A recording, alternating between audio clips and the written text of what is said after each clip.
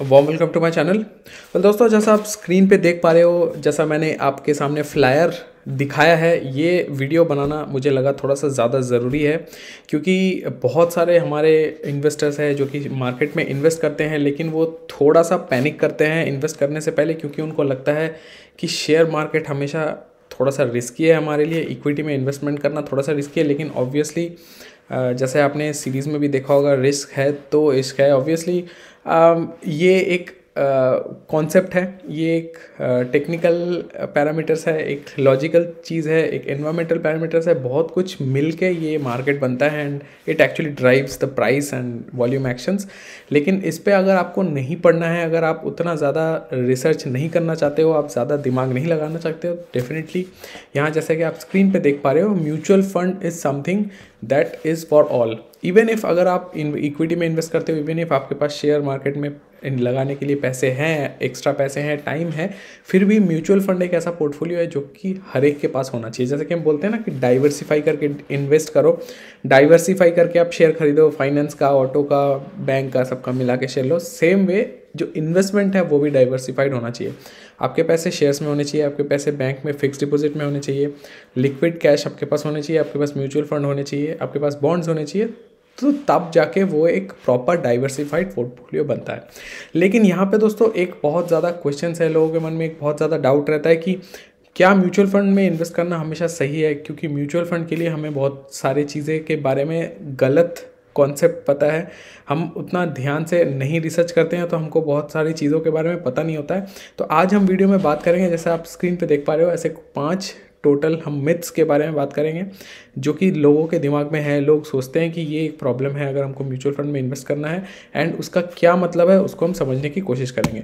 तो चलिए देख लेते हैं। सबसे पहले मैं अगर आपको बताऊँ, जो यहाँ पे पहला पॉइंट है, जिसको मैं आपको, आपके साथ डिस्कस करना चाहता हूँ that point is one mutual funds are for experts ये मैंने पॉइंट इसीलिए मेंशन किया है क्योंकि लोगों को ये लगता है कि म्यूचुअल फंड में इन्वेस्ट करने के लिए आपको पहले पूरा मार्केट जानना ज़रूरी है। लेकिन ये दोस्तों गलत है।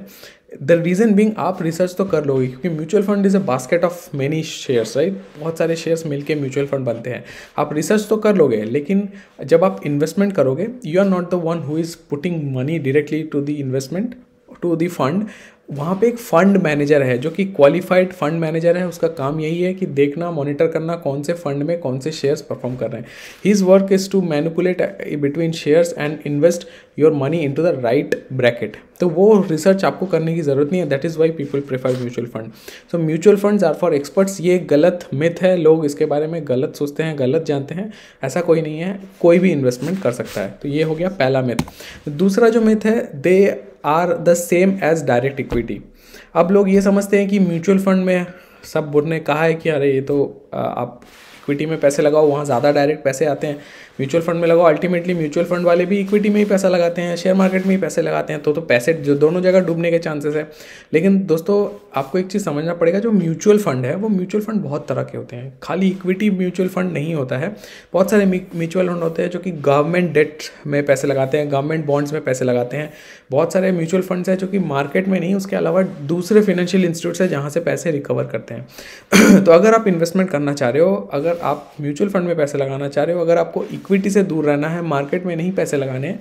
आप जो भी आपके फंड मैनेजर है you can talk with them you can tell explain them what exactly your requirement is how much risk appetite you have उस हिसाब से वो आपको सजेस्ट कर देंगे। जो तीसरा मिथ है दोस्तों you need a large amount of money to invest ये भी एक आ, लोग कहते हैं कि मुझे तो मेरे पास अब इतने पैसे नहीं है, मैं क्या इन्वेस्टमेंट करूँ?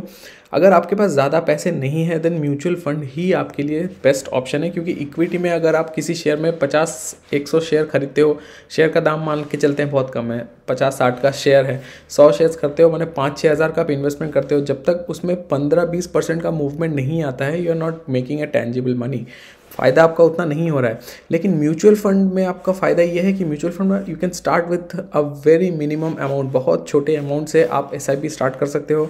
हर महीने, हर हफ़्ते, हर दो दिन में, हर एक दिन में जैसा आपका कैपिटल है, जैसा आपका रिस्क टेकिंग पोटेंशियल है, जितना आपका खर्च करने का एपेटाइट है, जितना आप स्पेंडिंग आपका पोटेंशियल है, जितना आप सेविंग कर पाते हो महीने में, उस हिसाब से you can actually configure your SIP सबसे इंपॉर्टेंट चीज़ ये एस मॉडिफाई किया जा सकता है। हर महीने आप चेंज कर सकते हो। आप किसी महीने में आपको लगा कि हाँ अभी मेरे पास थोड़े से ज़्यादा पैसे हुए हैं you can actually top up तो बहुत सारी चीज़ें हैं जिसको लेके आप खेल सकते हो बट इसका ज़रूरी बिल्कुल ये नहीं है कि आपको म्यूचुअल फंड में इन्वेस्टमेंट करने के लिए बहुत सारे पैसे चाहिए।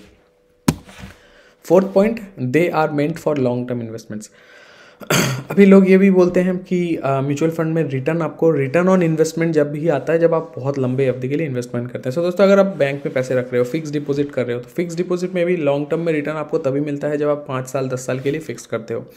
लेकिन म्यूचुअल फंड में ऐसा नहीं है क्योंकि म्यूचुअल फंड कहीं ना कहीं इक्विटी से रिलेटेड है। तो शॉर्ट टर्म में आपको अच्छा पैसा मिल सकता है। सबसे बड़ा एडवांटेज आपका ये है कि आप कभी भी उसको तोड़ सकते हो। आपके घर में कुछ फिनेंशियल प्रॉब्लम्स आ गए कुछ इमरजेंसी आ गया या फिर आप खुश नहीं हो उस फंड्स के परफॉर्मेंस से you can always close that fund you can sell that units whatever units are accumulated by that time and you can actually reap the benefits shares के केस में वॉल्यूम ज़्यादा होना चाहिए, वो आपका रिस्क है, लेकिन अगर आप म्यूचुअल फंड में पैसे लगा के रखते हो, आपको जब मन हो आप तब बेच सकते हो। तो ये भी एक गलत फहमी लोगों के दिमाग में है कि लॉन्ग टर्म आपको रखने होंगे। फाइनली जो लास्ट पॉइंट है मोर फंड्स बेटर डाइवर्सिफिकेशन तो ये भी एक दोस्त, दोस्तों मिथ है।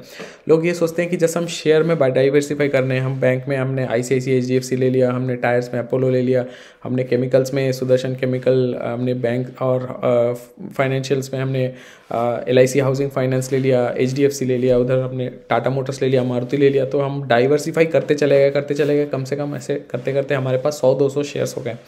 तब जाके you are touching every note of the market क्योंकि डाइवर्सिफाई तो तभी हुआ जब आपके पास सारे बिज़नेस के शेयर हो, हर एक जितने भी एंटिटीज़ है, सबके शेयर्स हो, तभी जाके आप कह सकते हो you have a diversified portfolio लेकिन म्यूचुअल फंड में यहाँ पे एक लोग ये भी बोलते हैं कि म्यूचुअल फंड में भी मुझे बहुत सारा लेना पड़ेगा ताकि डाइवर्सिफाई हो।